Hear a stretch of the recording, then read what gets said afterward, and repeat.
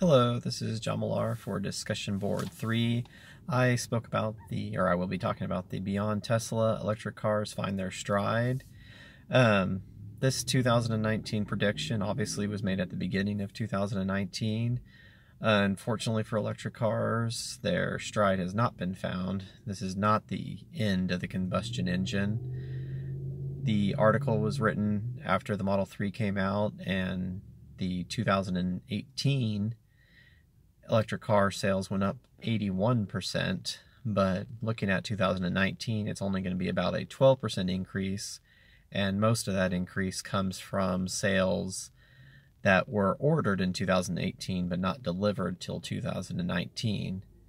Uh, Elon Musk made a big point saying that Tesla had 400,000 people just waiting to buy a Model 3, but that number looks to be about half correct. Now Tesla is focusing mainly on Europe and the EU or the EU and China. The China move, in my opinion, is not very good because you have to share your technology. So copies of the Tesla 3 will be out probably in the next five years, which will, you know, really hurt Tesla's sales. The reason for this, I believe, owning a Nissan Leaf myself, is that there are three major problems charging, charging, and charging. The first, it takes hours to charge an electric car. The average home can charge a car about 6 kilowatts an hour. You get about 4 miles to the kilowatt.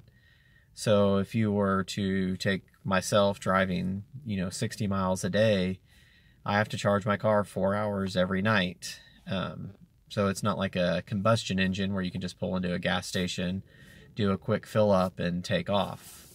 The other issue with charging is the infrastructure of the charging.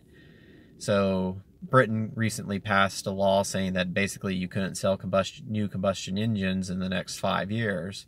But something like 80% of the homes, especially the older homes in Europe, in England and Europe, don't have the electrical boxes to be able to charge an electric car and run your dryer at the same time. So the only time you could charge your electric car in England would be at night. You'd have to turn every single thing off, then plug your car into charge. Well, for everyone, that's not exactly the most ideal situation where you can't run your dryer or make some toast. And then the third issue with charging is specifically around, you know, the types of batteries that it creates a lot of heat. So the faster you charge, the more damage it does to the battery, the more heat it creates, the more danger there is involved in charging. So as long as you have these problems with charging, um, no infrastructure, long charge times, and excessive heat and damage to the battery.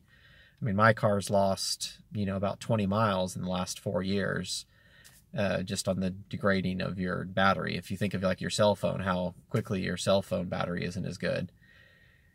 Um, hopefully, long term, they can solve these problems.